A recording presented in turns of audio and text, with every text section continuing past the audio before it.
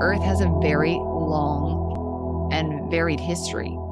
Long ago, Earth was a vacation spot for many of the Lyrans. All right. Many of the Lyrans um, tried to escape some of the Lyran wars and found themselves here on this planet. So when it came time, uh, they, many of them chose to go down into density. They came through uh, Lemuria. Many of those beings were originally from the Lyran star system. And some of them went through a descension process here.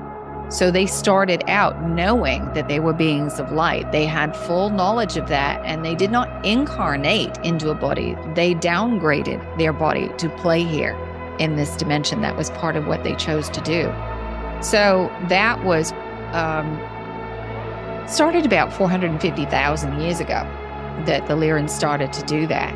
Um, but there have been many, many, many, many, many species who've been here and played here, and some that are still here that you are completely unaware of. Some have zero interest in connecting with human beings.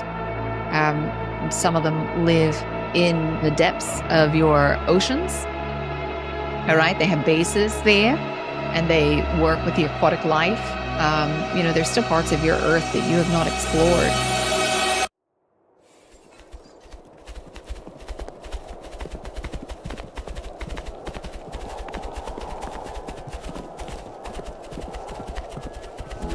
You know, it is it is a very varied history that you have in terms of interconnection with ETs. And this is all part of the game.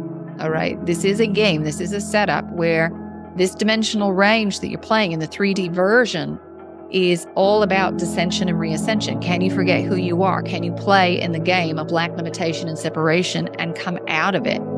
And and that's a very special experience to a soul because none of the other dimensions are like it.